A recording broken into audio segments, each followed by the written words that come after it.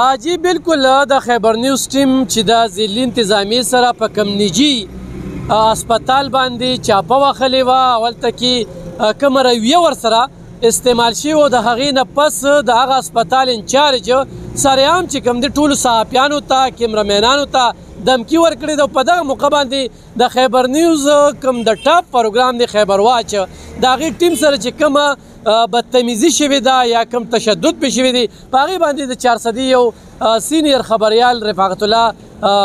رزړوال چې کم دی هغه درخواست دایر کو د پولیسو دغه غوښتنه کوي چې پوری دی د دغه دمکې په ضد باندې دغه ډاکټر خلاف اف آی آر درج شي دا غوي سره خبره ترې کو چې دغه درخواست کې نور وسره کم ملګری دي او څه نظر ساتي څه وایي دا چې د الف خان شرپو چې په دیارلسمه جولای د دې میاشتې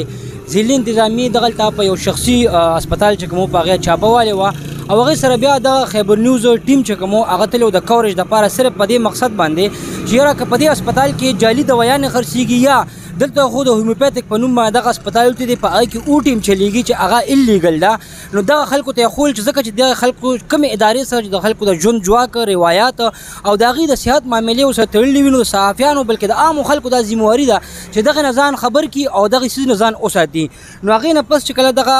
د چې کوم دغه سی او هغه چې کله ونیول شو هغه چې کله رووته نو کیمرامینانو او صحافیانو ته دړکې ورکړې او داسې دړکې ورکړه که دلته کې یو صحافي ما ولید یا یو کیمرامین ما ولید نو ما سکیورټي ګارډ ته ویل چې دا په ګولې باندې ولا دغه دمکی کولو ورکړی دا هغه په وجه باندې موږ دلته سټي په ترانه کې یو درخواست ورکړی د اف آی آر لپاره او موږ دا غوښتنه کړې چې په دغه وجه باندې صحافیانو ته چې کوم دمکی ورکړی لهدا د خلک کس خلاف چې کوم دی کاروي دی او باقاعده تور باندې دلته کې د اف آی آر لاندې وشي موږ دا وایو چې لکه په داسې دمکو باندې خو موږ نه امیرانو یو نه فاشیست حکمرانانو یو نو لکه دا پکې څوک دی چې دی راځي او صحافیانو ته دمکې ورکوي بالکل موږ د خیبر نیوز چې کوم ټیم باندې تشدد شوی دی چې په هر صحافي باندې یا د هر سړي چې کوم د انفارمیشن د کلیکشن یو لار ده او په هغه باندې قدغن لګول کیږي نو موږ به دغه خلاف چې کوم دی ودرېږو او دغه موږ بالکل دا موږ ته منظور نه ده سي ډیر زیاته مننه موږ سره یو بل ډیر سینیئر جرنالیست نن دغه دړاکو ته دوی په کم نظر ګوري او دا کم درخواست چې دایر شو په دې باندې څه نظر سره خیبر واچ ټیم سره چې کوم دغه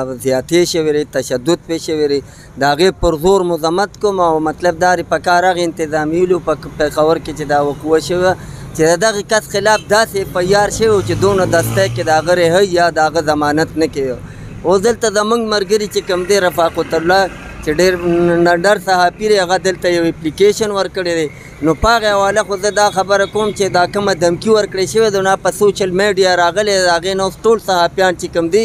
نه په خطر کې دي او صحافیانو ته تحفظ ورکول د صحافیانو مطلب دا دی چې خیال ساتل دا د انتظامیې کار دی رپورټینګ کول دا د صحافي حق دی په کوم ځای کې چې دو نمبر کار کیږي که هغه په هسپتال کې که هغه چېرته بله فکټري وي نو دا صحافي ډیوټي ده چې دی به دغلته ځي صحافي ته دغلته د اجازت ضرورت نشته چې چا نه به اجازه تلي خیبر نیوز ټیم چې کم تللی نه خو لا بیا هم ضلعي انتظامیې سره تللی صحافي ځان له هم تللی شي نو موږ دلته چارسدې انتظامیې ته دا وایو چې دغه خطره موږ ته هم ده ځکه چې هغه کومه دمکې ملو ده نو هغه ټول کیمرمینان یادوي ټول صحافیان یادوي نو دلته د چارسده سیټي پولیس چې کوم دي پوری د رفاقت الله په درخواست باندې کاروي کی کو نه شو نو بیا به موږ د دې تاړې مخ ته په احتجاج مجبورېږو ډیره زیاته مننه حاجي دلته چارسدي صحافیان دا خوم وایي چې موږ د خپل ځان تپوس کولی شو خو ضلعي انتظامیه پېښور چې کومه ده هغه دې د خپل ځان تپوس وکړي موږ ته شب قدر نه اطلاعات دي او دغه شانتې د مردان نه هم دي او د ملکن ډیویژن د دغه ضلعو نه هم دي چې هلته کې خوم د دغه